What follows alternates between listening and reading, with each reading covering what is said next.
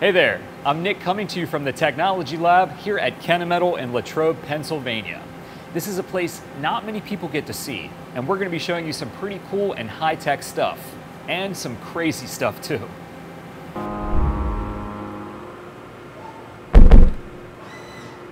The versatile Mill 4-12KT covers many shoulder milling applications, which we're about to show you. Now, don't try this at home, but Jake's put this block of steel and block of cast iron side by side in the same vise. And now we're gonna cut these two materials at the same time.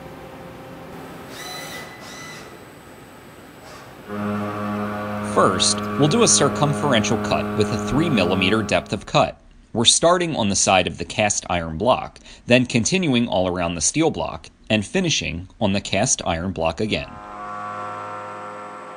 Now it's going to get really wild.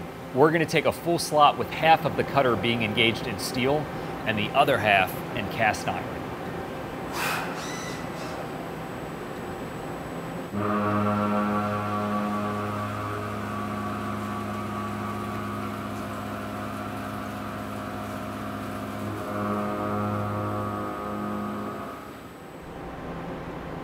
Finally, we're going to take a 5mm depth of cut full slot through the cast iron block first.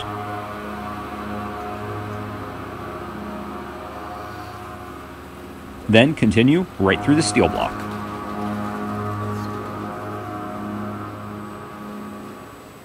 Thanks for checking out the Mill 4-12KT with me here in the Technology Lab at Kennametal.